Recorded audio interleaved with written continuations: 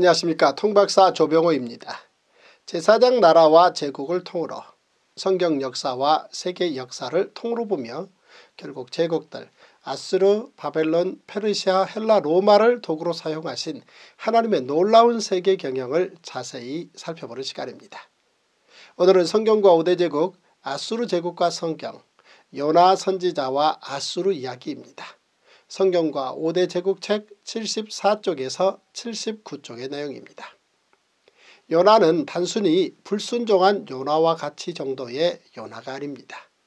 비록 4장밖에 되지 않는 짧은 책이지만 요나서는 매우 소중한 하나님의 말씀입니다. 우리는 요나서에서 사족을 원하지요. 요나서 4장이 끝나면 이어서 그래서 나는 하나님의 말씀을 깨닫고 크게 뉘우쳤으며 그 후 좋은 선지자가 되었다는 내용이 추가되기를 원한다는 것입니다. 그러나 이미 요나서가 성경에 기록되었다는 것 그 자체가 하나님께서 요나를 사랑하시고 귀한 선지자로 인정하셨음을 뜻합니다. 요나서는 아수르와 관련된 성경입니다. 선민만이 아니라 모든 민족을 사랑하시는 하나님의 사랑 이야기입니다. 당시 요나가 이 말씀을 기록할 때는 자기 나라 북이스라엘은 우상에 빠져 악한 죄 가운데 있고 아수르는 제국주의를 펼쳐가면서 주변 국들을 긴장시키고 있던 상황이었습니다. 마치 우리나라가 조선 말 국력이 쇠퇴해 가고 있을 때 일본의 야욕을 한국 국민들이 거의 눈치채고 있던 그런 상황과 유사하다고 볼 수 있습니다. 그런 상황에서 하나님께서 요나를 불러 북이스라엘 백성을 회개시키고 그들을 구원해 주시겠다는 말씀은 주시지 않고 오히려 적국 아수르로 가서 그들의 수도 니누의 백성에게 심판을 선고함으로써 그들을 구원할 계획을 전하라니 요나가 도망하고 싶기도 했을 것입니다. 모든 사람들은 각자 자기 나라를 사랑하면서도 또한 불만들이 있습니다. 그러나 다른 나라와 비교할 때는 자기 나라를 깊이 사랑한다는 것이 기본이지요. 우리는 내 나라 내 민족을 사랑하면서 동시에 전 세계의 모든 사람들이 다 하나님의 사랑의 대상이라는 것도 기억해야 합니다. 여호와의 말씀이 아미떼 아들 요나에게 임합니다. 요나 1장 2절입니다. 너는 일어나 저 큰 성읍 느누웨로 가서 그것을 향하여 외치라. 그 악독이 내 앞에 상달되었음이니라. 그러나 요나는 여호와의 얼굴을 피하고 싶었고 일어나 다시스로 도망하기 위해 요바로 내려가 싹을 주고 다시스로 향하는 배에 몸을 씻습니다. 요나의 다시스로의 반전 여행 때문에 큰 물고기가 고생 좀 했지요. 큰 물고기도 하나님의 말씀을 잘 듣는데 요나는 그 큰 물고기보다도 하나님 말씀을 듣지 않았으니 잠시나마 큰 물고기만 또 못한 요나였다고 놀릴 수 있을 것입니다. 3일 동안 큰 물고기 뱃속 호텔에서 요나가 하나님께 기도함으로 하나님께서 다시 요나에게 사명을 주십니다. 여호와의 말씀이 두 번째로 요나에게 임합니다. 요나 3장 1절에서 2절입니다. 일어나 저 큰 성읍 니누에로 가서 내가 내게 명한 말을 그들에게 선포하라. 요나서의 기록에 의하면 니누에는 3일 길을 걸을 만큼 큰 도시였습니다. 그런데 요나는 하루 만에 대충 그것도 아마 살살 전한 것 같습니다. 요나 3장 4절입니다. 40일이 지나면 느누웨이가 무너지리라. 그런데 그때 큰 기적이 일어납니다. 우리는 물고기 뱃속에 들어갔다가 살아나온 요나 이야기를 기적이라고 생각합니다. 그러나 인간이 하나님 앞에 회개하는 것이 정말 기적입니다. 회개하면 구원받을 수 있기 때문입니다.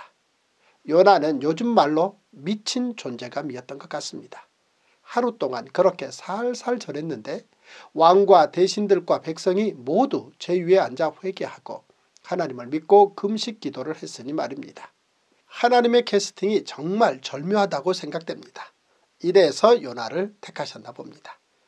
느느의 사람들이 하나님을 믿고 금식을 선포하고 높고 낮은 자를 막론하고 굵은 배옷을 입습니다. 그 일이 느누의 왕에게 들리자 왕이 보좌에서 일어나 왕복을 벗고 굵은 베옷을 입고 제위에 앉습니다. 왕과 그의 대신들이 조서를 내려 느누웨에 선포합니다.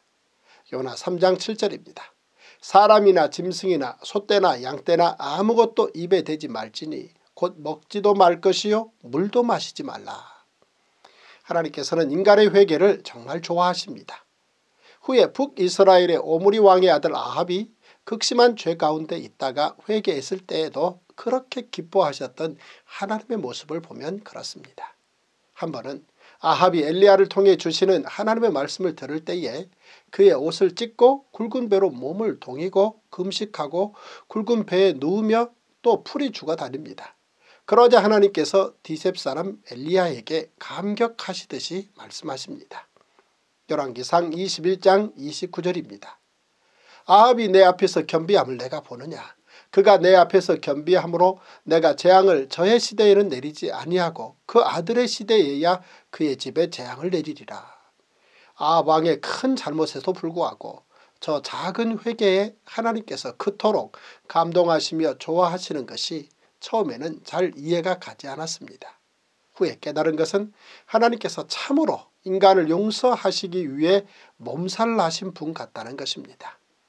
아수르의 수도 느웨의 왕과 대신들과 백성이 모두 금식하고 회개하자 하나님께서 그들을 용서하시고 구원하시는 장면입니다. 느웨 왕이 말합니다. 요나 3장 9절에서 10절입니다. 하나님이 뜻을 돌이키시고 그 진노를 그치사 우리가 멸망하지 않게 하시리라. 그렇지 않을 줄을 누가 알겠느냐 한지라.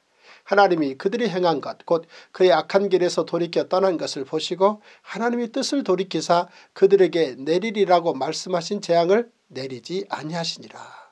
하나님께서 느누의 백성을 구원하신 이유를 다음과 같이 설명해 주십니다. 니누에의 12만 명의 사람들이 하나님을 아는 지식이 없어 불쌍한 사람들이라는 것입니다. 하나님께서는 가축들도 아끼신다는 것이지요. 요나 4장 11절입니다. 하물며 이 큰 성읍 느누웨에는 좌우를 분변하지 못하는 자가 12만여 명이요 가축도 많이 있나니 내가 어찌 아끼지 아니하겠느냐 하시니라.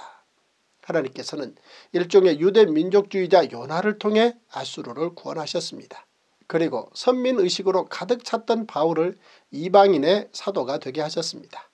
세계가 다 하나님께 속했기 때문입니다.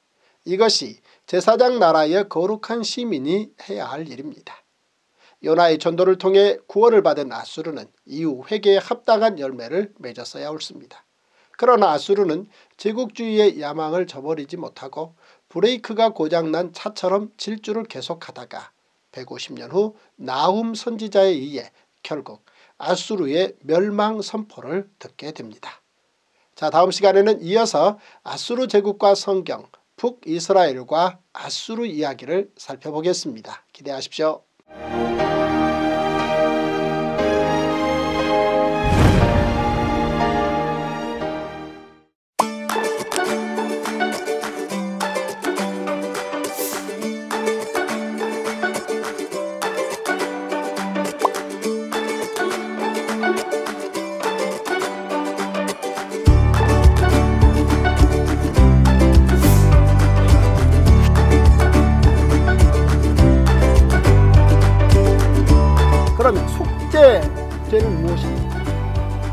그 다음 용서를 받고 그 다음에 회복이 되는 이런 놀라운 제사가 바로 이 속죄제입니다.